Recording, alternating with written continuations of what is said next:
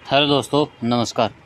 तो दोस्तों, हरियाणा पुलिस भर्ती अपडेट है। हरियाणा पुलिस ज्वाइनिंग को लेकर आई बड़ी खबर। कब तक हटेगा स्टे? एच एचएसएससी ऑफ़िस से आया फ़ोन। देखिए, क्या जवाब दिया।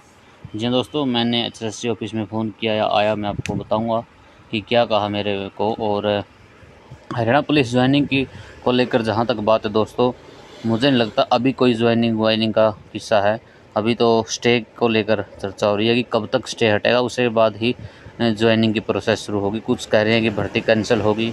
ये होगा सी के अंडर आएगा। अभी तक इस पर कोई ऑफिशियल अपडेट तो नहीं है।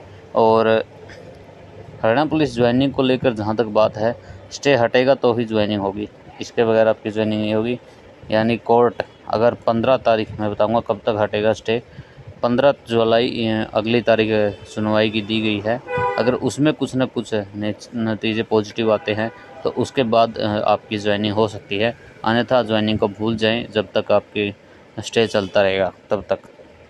अब दोस्तों एच ऑफ़िस से जो फ़ोन आया मेरे पास, वो क्या आया है? उसमें दोस्तों मेरे को बोला गया है कि मैंने उसमें पूछा कि जो एस है, अभी से जो ये चल रहा है, हरियाणा पुलिस को लेकर ज्वाइनिंग को लेकर, इसके बारे में क्या बोल रहा है एच तो वहाँ से मेरे को जो दोस्तों बातें सामने निकल कर आई है वो यही है कि एच अभी कुछ नहीं बोल रहा है, पंद्रह तारीख का इंतज़ार है और कोर्ट क्या विचार रखता है आने वाली पंद्रह तारीख को, यानी कोर्ट की विचारधारा पर ही है अब जो कुछ भी है। एच एस में कोई लेना देना नहीं है, अब जो भी करेगा कोर्ट ही करेगा। उसके बाद हम अपना प्रोसेस शुरू करेंगे। ये मेरे पास फ़ोन या किया मैंने, जो मेरे पास अपडेट आई, मैं आपको बता रहा हूँ। ये अपडेट थी आशा करता हूँ आपको पसंद आएगी। पंद्रह तारीख को आप इंतज़ार पंद्रह तारीख तक आप इंतज़ार करना पड़ेगा।